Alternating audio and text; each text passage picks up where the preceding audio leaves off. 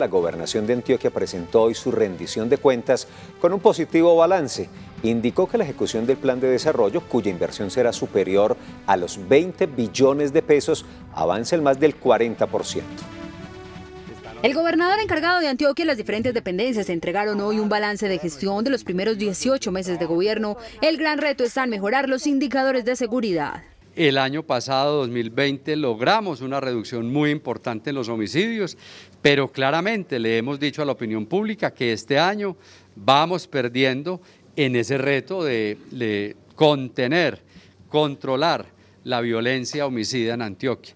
Pero en los otros indicadores de vida, yo pienso que hay resultados satisfactorios, mortalidad por desnutrición, hay cifras mucho más favorables que las que teníamos en 2019 y 2020, por citar un ejemplo.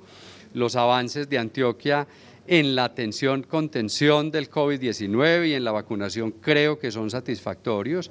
Antioquia tiene un cumplimiento superior al esperado en la ejecución del plan de desarrollo. Este ejercicio de rendición de cuentas permite analizar los avances y definir en cuáles de ellos se presentan retrasos o dificultades. Avanzamos un poco más que la línea temporal. Si miráramos 18 meses sobre todos los meses de gobierno, digamos, tendríamos que ir en un poco más del 37% de las metas y avanzamos muy bien eh, con una cifra superior superior a esa, el 40% de cumplimiento total y con eso estamos tranquilos, vamos a informar eh, cumplimiento por territorios, por grupos etarios, atención de grupos étnicos. El gobernador encargado aseguró que los proyectos de infraestructura vial se han visto afectados por las fuertes lluvias, pero se buscan alternativas para dar cumplimiento a las metas propuestas en el plan de desarrollo. Y de acuerdo con lo informado en la rendición de cuentas, Antioquia avanza en proyectos y programas estratégicos del plan de desarrollo entre ellos el mejoramiento de las instituciones educativas rurales, el apoyo a la cultura y el deporte, la reactivación económica y la generación de empleo.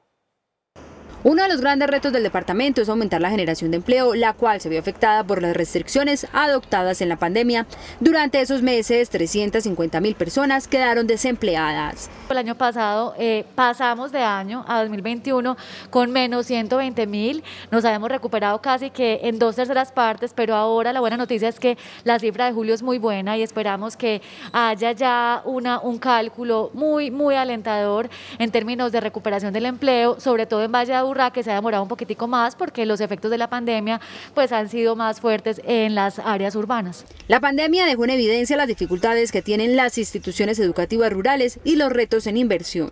Donde encontramos más de 538 escuelas sin agua potable y es uno de los retos que tenemos como antioqueños de volver a tener en estos territorios todas las condiciones básicas para el retorno de nuestros maestros y de nuestros niños a la educación. Otro de los propósitos incluidos en el plan de desarrollo es la construcción y mejoramiento de 8.250 soluciones de vivienda. En esta rendición de cuentas, el canal regional Teleantioquia destacó su vinculación a los municipios a través de la EduMóvil, el apoyo para la construcción de la Agenda 2040 y la meta de seguir siendo el canal público más visto y el de mayor credibilidad del país.